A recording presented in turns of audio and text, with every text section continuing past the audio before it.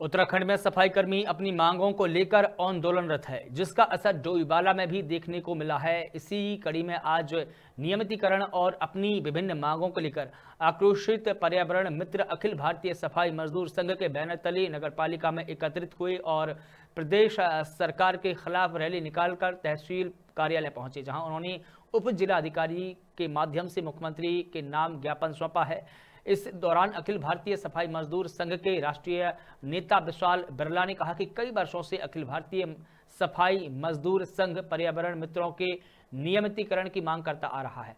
पिछले विधानसभा चुनाव से पहले प्रदेश भर में नियमितीकरण की मांग को लेकर आंदोलन भी किया गया था, जिसके बाद मुख्यमंत्री धामी ने कर्मचारियों को नियमितीकरण तो नहीं किया।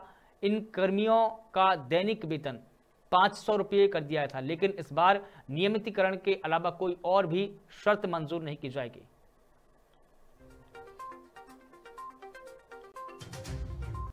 रैली निकालने के लिए आज सारे के सारे सफ़ाई कर्मचारी मजबूर हैं।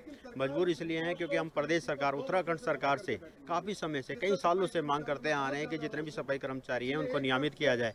क्योंकि इनको, इनसे इतना ज़्यादा हद से ज़्यादा काम लिया जा रहा है।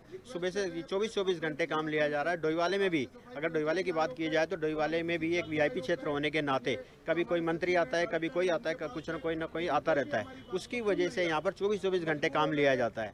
यहाँ तक कि कभी कभी खाना भी नहीं खाने दिया जाता है। लेकिन सरकार जो है ना अपनी ज़रूरत देखती है इनकी सफ़ाई कर्मचारियों की कोई ज़रूरत देखने के लिए तैयार नहीं है। यहाँ तक कि उनको ये नहीं चाहते कि, कि हाँ इनका इतने पंद्रह सौ में या बारह बारह हज़ार में या इसका कुछ गुजारा हो रहा है या नहीं हो रहा है वो इसको देखने के लिए तैयार नहीं है।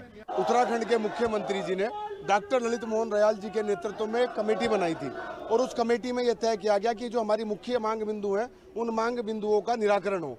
एक था हमारा जितने भी सफ़ाई कर्मचारी हैं इनको परमानेंट किया जाए ठेकेदारी प्रथा संविदा समिति ये सब समाप्त की जाए, ये शोषणकारी व्यवस्था है। दूसरा हमारा बिंदु था कि समस्त सफ़ाई कर्मचारियों का प्रमोशन हो, ये सिर्फ़ सफ़ाई कर्मचारी ना रहे। इन्हें भी अगर पढ़े लिखे हैं तो आप इन्हें बाबू की पोस्ट पे एमटीएस के स्टाफ में क्लर्क में, इन लोगों को प्रमोशन दें।